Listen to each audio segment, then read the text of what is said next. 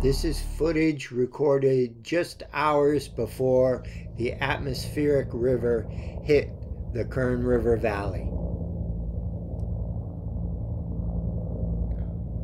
So you see just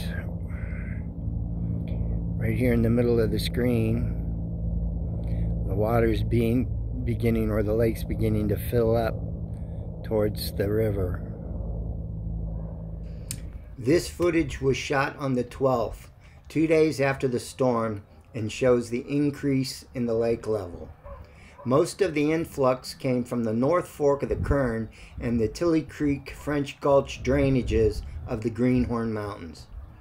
I made it a point to also drive to the South Fork of the Kern during the storm to see the changes and was surprised to find virtually no increase from before the storm.